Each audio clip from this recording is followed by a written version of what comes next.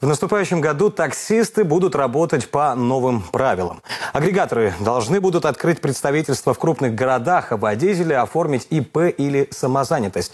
Несмотря на то, что закон вступит в силу только в следующем сентябре, многие таксисты уже сейчас обеспокоены переменами. Подробнее в теме разобралась Дарина Иранцева. Собираюсь украсить салон гирляндами, снежинками какими-нибудь, игрушками. Чтобы новогоднее настроение у пассажиров Настроение было. у пассажиров, да, это всегда приятно.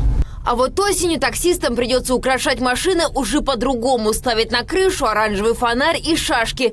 Теперь это написано в новом законе, который приняла Госдума.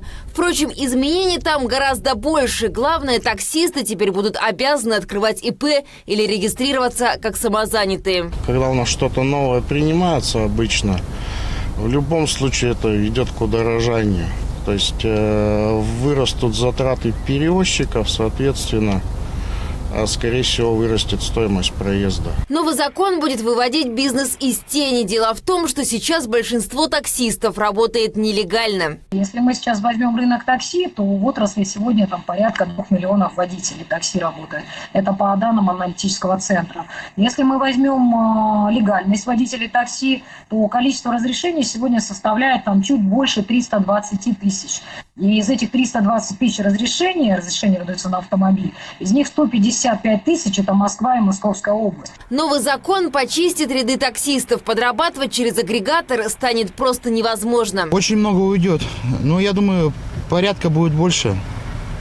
Я считаю, что порядок в такси нужен. Потому что кто хочет, тот и э, работает.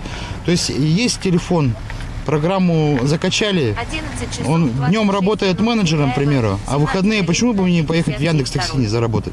Если число таксистов снизится, то цены на поездки вырастут. Закон ударит по кошельку пассажира. Впрочем, сами водители этому только рады. С такими зарплатами, как сейчас, далеко не уедешь. Расценки не менялись практически 15 лет.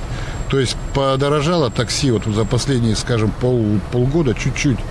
Но на самом деле стоимость топлива, стоимость за, за частей запредельная. Машины сейчас новые не купить.